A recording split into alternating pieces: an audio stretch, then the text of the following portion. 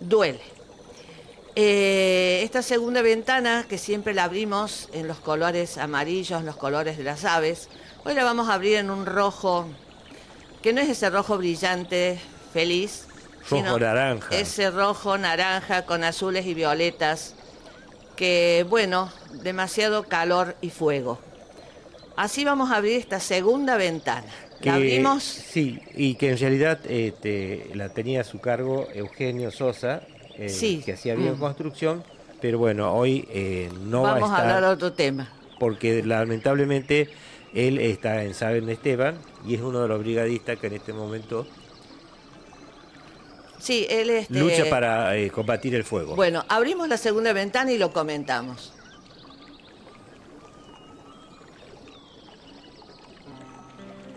Creemos que los pájaros enjaulados cantan cuando en realidad lloran.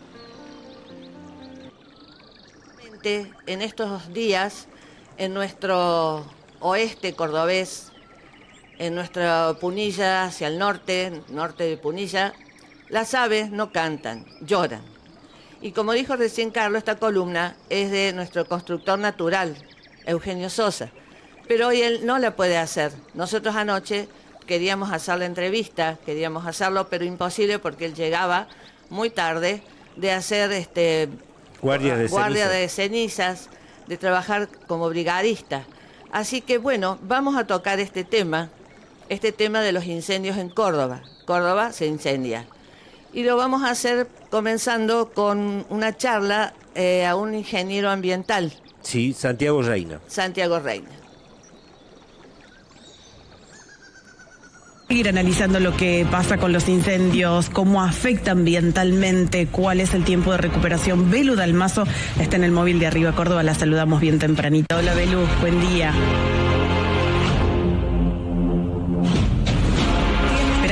Ahí está, seguir hablando de incendios. Estamos hablando, estamos hablando de uno, tal vez, de los peores incendios en los últimos años en Córdoba, con la cantidad de hectáreas afectadas, más de 40.000 hectáreas. Y hay una pregunta que nos estamos haciendo todos, y tiene que ver con si esto se puede prevenir. Estamos por eso aquí con el doctor eh, en Ingeniería Ambiental, Santiago Reina, para responder esta pregunta. ¿Cómo está Santiago? Buen día. Muy bien, buen día. ¿Esto se podría haber prevenido? Siempre se puede prever, siempre se pueden hacer cosas antes, siempre. Eh, no estamos diciendo que esto sea una situación fácil, ocurre en todo el mundo, hay incendios en este momento en Portugal, hay incendios brutales en la Amazonia. O sea, hay una razón de fondo, hay una causa principal, que es el cambio climático, que mucha gente niega. Esa gente que lo niega desde un punto de vista absoluto, es decir, no existe, o la que dice que niega que el hombre tenga que ver, o la gente que dice que se va a arreglar solo, son parte del problema, porque también van a negar que estos incendios tengan que ver con el hombre que es, es, un problema el no hacerse responsable. O sea, nosotros no tenemos que ser responsables de lo que está ocurriendo. En escala global, en una escala más regional y en una escala local. Primer problema, o sea, hay una amenaza que es estos calores en épocas que no tienen que estar, estos vientos demasiado fuertes y estas humedades demasiado bajas. ¿Eso ocurre en los inviernos? Sí, siempre ha ocurrido, pero no siempre ha ocurrido en esta escala. Entonces uno tiene que preguntarse por qué esta escala tan grande. Bueno, hay varias razones. Una de las razones es que las ciudades, las zonas urbanas van creciendo y se van metiendo hacia el bosque. Generan esa zona de interfase. Esa zona de interfase es muy riesgosa, es la que, donde todo se inicia, obviamente, porque eh, tenemos una zona urbana, tenemos una persona que inició, qué sé yo, quemó el pasto que tenía al lado, porque esa es su manera de entender que iba a limpiar, y bueno, ese le fue el fuego. O un basural, basural suelen ser inicios de incendios, eh, o alguna persona que lo hace a propósito, quiere hacerle... ¿Todos los incendios son intencionales? Todos los incendios tienen que ver con el hombre, son intencionales. No todos tienen mala voluntad, o sea, no, todos, no en todos ellos hay dolo, diría un abogado. Pero sí, claro, todos son responsabilidad del hombre, todos, todos estos, la gran mayoría. Ninguno de estos ha ocurrido por causas que se puede decir naturales. Bueno, se está hablando mucho y es tema de debate el tema de los desarrollos inmobiliarios, si estos incendios están producidos por esto. La respuesta, bueno, no, no conozco cada uno de ellos, pero la respuesta es no. No. Le conviene a ningún desarrollista esto. Por otro lado, nuestra ley no permitiría que se hiciera un desarrollo. Si eso fue una zona que era roja, por decirlo así, en términos de bosque nativo, sigue siendo roja y no se puede hacer más nada hasta que se recupere. O sea, aún peor, porque no se puede hacer nada de nada. No, no, no, no, no es así. Ningún desarrollista lo haría, no ganaría nada. Tampoco lo haría un producto de campo, un producto de campo en medio de la sierra que le prende fuego, se le prende fuego los alambrados, se le prende fuego el ganado, se le destruyen las obras de agua para llevar de un lado para el otro, se le arruinan los bebederos, no gana nada con esto. Entonces eso entra en la categoría de la oscura. Sí hay gente que, sí hay piromaníacos, por supuesto, y hay gente que hace maldad, eso no hay ninguna duda. Eh, por lo tanto, hay que controlar que no ocurra. En este caso aparece el tema de la ley.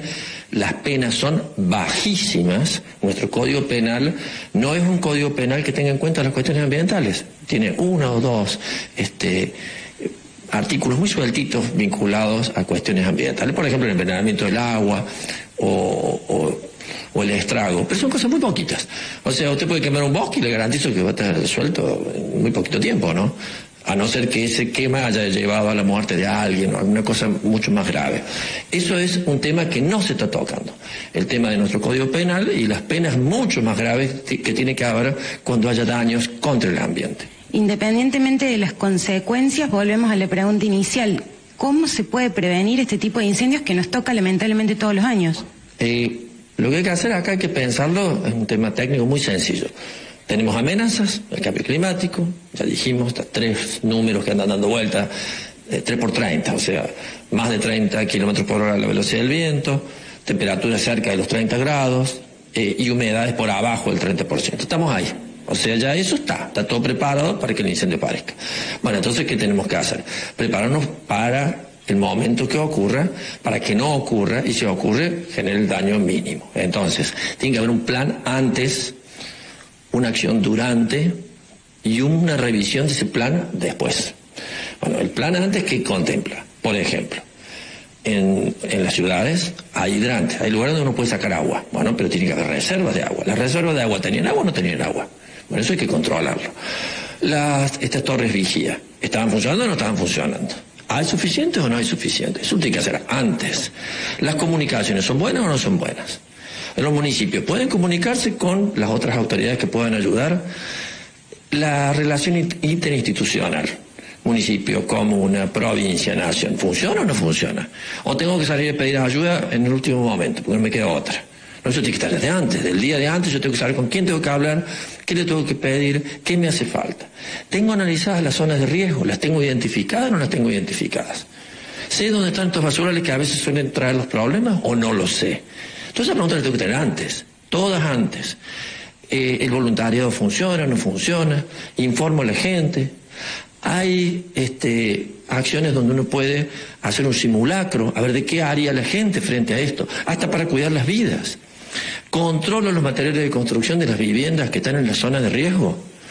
Permito que se construyan viviendas materiales altamente inflamables en medio del bosque, cuando el bosque se puede quemar. Las viviendas muy precarias de la gente más vulnerable están usualmente en los peores lugares. Pues justamente, ahí es donde vive, porque es el lugar donde no quiere vivir nadie.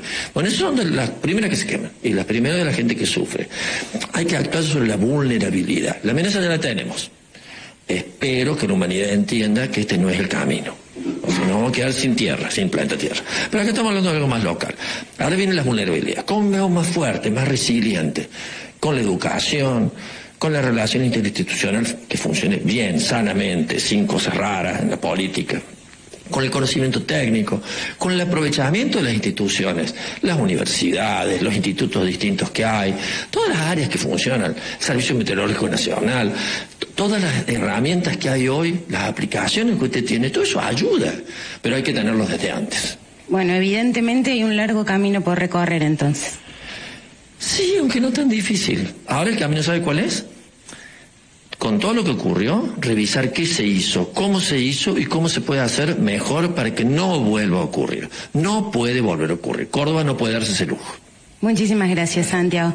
Bueno, entonces hasta ahí el análisis de este ingeniero ambiental sobre el largo camino que hay que recorrer para prevenir los incendios en Córdoba. Seguimos con ustedes. Hemos escuchado a este ingeniero donde nos habla de prevenir realmente el dicho dice, más vale prevenir que curar. Es cierto, estos incendios no deben volver a ocurrir. Ya han ocurrido hace tres años, hubo grandes incendios en la zona de Punilla hacia el sur. Eh, hay, ha habido incendios en otras provincias, los hay actualmente. Se ha incendiado el delta del Paraná. Se está incendiando, como él dice, en América del Sur, desde el Amazonas hacia el sur. Entonces, ¿qué nos está pasando? Portugal, España. ¿Qué nos está pasando? ¿Qué le está pasando al ser humano? ¿Por qué los incendios? Y como dicen los biólogos, hoy escuchábamos este, un biólogo y una bióloga a la mañana tempranito en Radio Universidad, eso de las 7 de la mañana, cuando escuchamos las informaciones, eh, dice, no es temporada de incendios, no existe la temporada de incendios. No, es como cuando se dice temporada de poda. No, no estamos temporada de vacaciones. Existen sí las situaciones que pueden este, hacer más posibles los incendios, como las épocas de sequía. Y otro, además de prevenir, lo otro que hay que hacer es la educación ambiental. La educación no es solamente poner un cartel que diga no queme, no haga asados.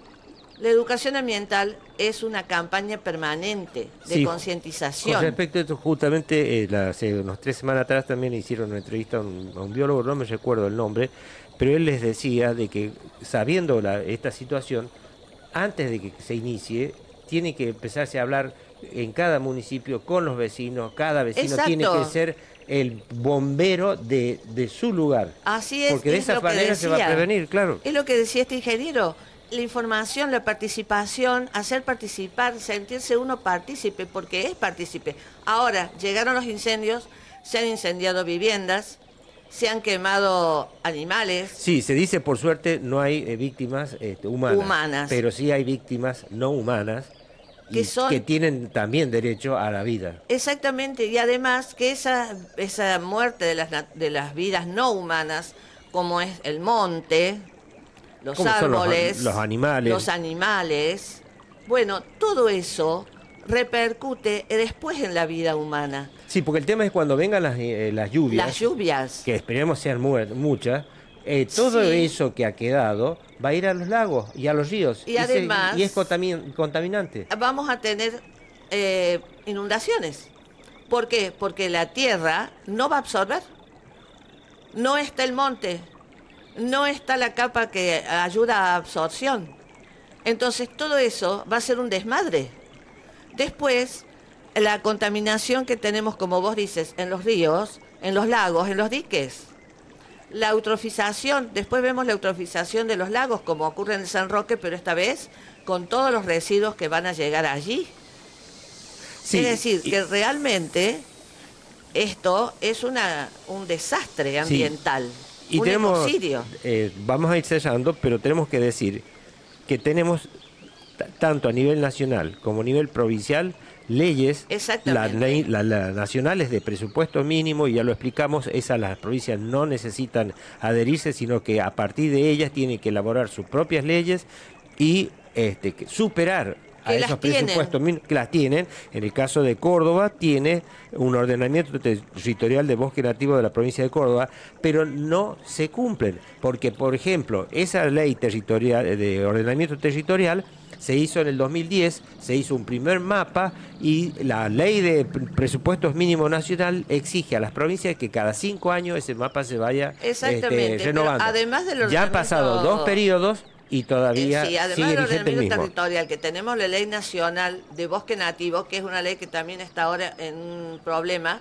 la ley de presupuestos mínimos para protección de bosque nativo también tenemos la de prohibición de cambio de uso de suelo. Sí, que ayer creo que lo escuché al gobernador, que eh, le preguntaban los periodistas y él dijo que eso no se cambia. No, no, el tema de la... Está prohibido el cambio de uso de suelo. Pero ¿qué pasa? Las leyes están. Ahora, nos preguntamos, como decía también este ingeniero, y como esta mañana decían los biólogos, ¿se cumplen? Esa es la gran pregunta. Porque después de este desastre Después estas 44 mil hectáreas y más, porque llevamos muchas más quemadas en Córdoba. ¿Qué pasa? Sí, la naturaleza se recompone, eso es así, siempre y cuando no, la, no pisemos esos lugares, no los, no los habitemos, no los usemos. Tenemos que dejar que reverdezca sola. Pero en ese reverdecimiento, también, si se les ocurre eh, a alguien quemar, como se está haciendo ahora porque son intencionales, se va a volver a quemar. Eso dicho por él. Dicho los, eh, por los biólogos. No, ¿eh? no, y dicho por el, ministro de Seguridad. También. Dijo que el 90% de los incendios son, intencionales. Entonces, ¿qué pasa con toda la naturaleza? Sí, la naturaleza se va a reponer, claro, pero se va a reponer en 10 años, 20 años, 30 años o más porque estos montes, toda esta zona que se está quemando, tiene años, cientos de años. Entonces tenemos que pensar, tenemos que decidir qué queremos para vivir en nuestro planeta, para vivir en nuestra provincia, para vivir en nuestra tierra. No podemos seguir de esta manera. Todos lo decimos, pero parece que, bueno, vamos a tener que seguir diciéndolo, vamos a tener que seguir educándonos todos para que comprendamos que necesitamos del monte, necesitamos de la naturaleza y necesitamos que los seres humanos puedan vivir bien, porque todas estas personas que han perdido ahora sus viviendas han perdido la vida hasta este momento. Ahí se les ha ido todo, todo el trabajo, el esfuerzo que han hecho para poder tener su hábitat, su vivienda.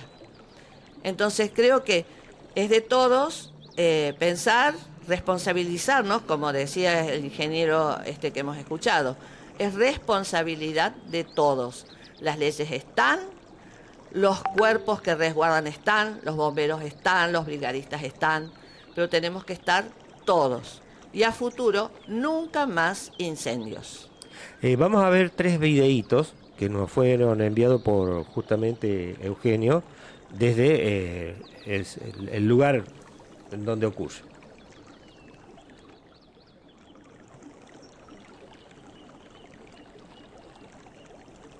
un fuego muy grande, como nunca, desde allá, desde los cerros, siempre hubo fuego en los alrededores, una vez se prendió esta esquina también, eh, pero bueno, ese era raro, era diferente, venía con muy violeta, morado, unos colores muy raros, y ahí yo estaba ahí en la cocina de mi casa, si quieren podemos y, y bueno, eh, les dije a mis hijas que teníamos que salir, eh, que teníamos que salir y, que agarraran algo y mis hijas, bueno, una metió todos los peluches en la mochila, otra agarró el uniforme de la escuela y la carpeta y salimos.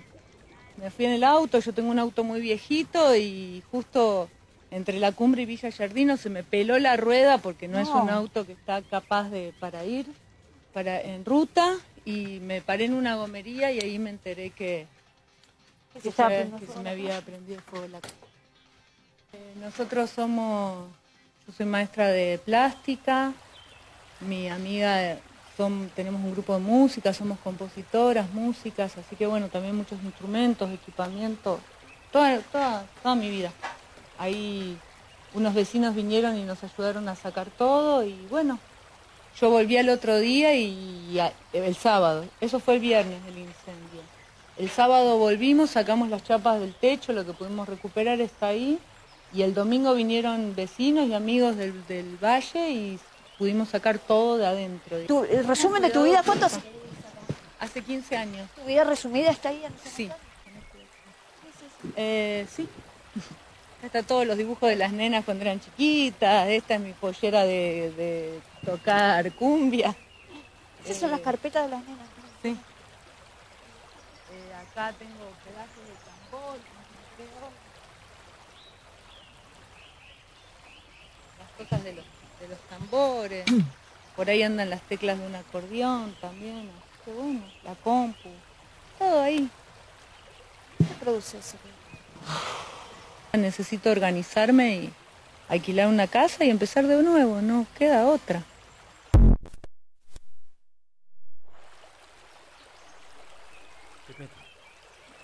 Bueno, ahora vamos a continuar viendo otras secuencias, otros sucesos en esto de los tristes incendios de Córdoba. Son dos videos más que mandó Eugenio también. Sí, exactamente. Bueno, acá para que vean una demostración, Estamos trabajando en una quebrada cerca de Alquerías de la Manga, Charbonnier, donde se quemó eh, anteanoche, 23 de septiembre, para que vean un algarrobo que debe tener fácil 200 años, quizás más. Más. No lo podemos saber. Pero este árbol eh, creo que nunca había visto un algarrobo tan grande. Para que vean un testimonio de la gravedad de esta situación. Lo que tiene que pasar en tiempo para que un árbol así vuelva a crecer. Es impresionante, es muy triste. Y para que vea la gente también de todos lados cómo las brigadas comunitarias, los civiles, eh, somos los únicos que subimos a la montaña a, hacer guardia de ceniza y apagar todos estos posibles focos de reinicio, porque si bien acá ya se quemó, hay mucho material todavía seco y con un poco de viento esto vuelve a iniciarse como foco de incendio y seguimos perdiendo más árboles, más montes, más vida, más tierra. Así que bueno, queremos dar testimonio con la tristeza de ver un árbol así, tan viejo, tan inmenso, tan grande y saber que lo perdimos. Así que bueno, con la debida denuncia también a todos los responsables, las autoridades políticas, el grupo de TAC que estuvo prendiendo fuego por todos lados en Punilla, eh, para que vean también la magnitud del desastre. Tranqui, tranqui, se prende ahí, ¿eh? Vamos.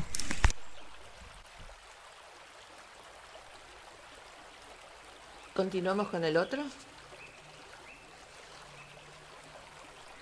Estamos terminando la jornada acá en Alquería de la Manga, al oeste de Charbonnier.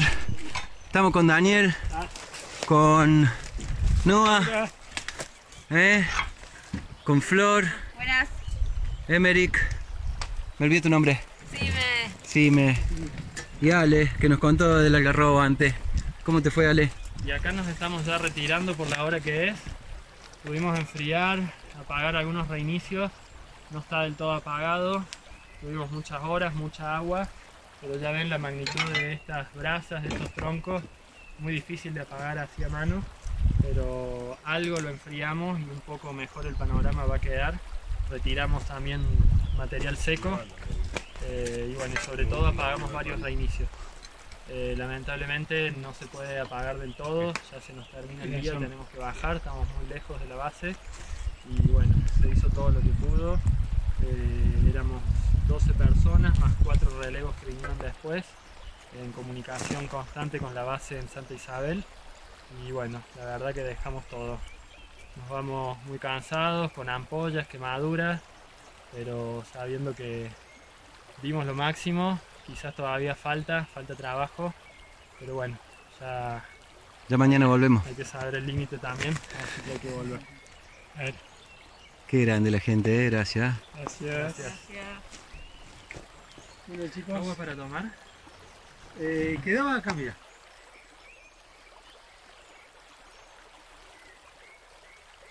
Bueno, y Bueno, vamos a... Estos son algunos de los tantos testimonios que hemos podido ver y que hemos visto en televisión, en radio, en tantos lugares, ¿no? O sea, gente civil, bomberos, de, bueno, de todos seres humanos que, que luchan para que esto se apague, para que, bueno, no, no sea más el desastre, ¿no? Y bueno, sí, ahora como Vamos dice a sí, ver un último video. Eh, yo voy a leer el texto porque si bien está escrito, ¿no es cierto? Está subtitulado, pero bueno, quienes este, solamente nos escuchan por la FM, por la radio, este, no van a poderlo ver, entonces, eh, leer, entonces eh, yo se los voy a ir leyendo y este es una- un, recla- un, Un llamado. un llamado de pedido.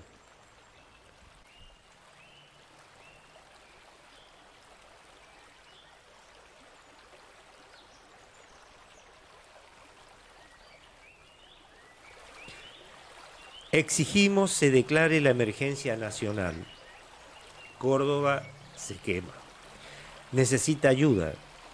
Hace días el fuego está arrasando con casas, animales e incalculables hectáreas del monte. El fuego ya alcanzó a San Esteban, Dolores, Capilla del Monte, Villa Yardino y La Cumbre. Por favor, hagamos presión. Córdoba se quema. Ayúdenos a difundir. Si hay algo que nos caracteriza a los argentinos, es nuestra solidaridad. Que venga ayuda de todo el país. Nos están prendiendo fuego. Valle de Punilla, Córdoba. Así es, es un llamado de solidaridad porque, bueno, se está quemando en San Marcos Sierra, bueno, tantos, tantos, tantos lugares grandes, más grandes, más pequeños de nuestra provincia de Córdoba. Y esto trae una, problemas ambientales, problemas económicos.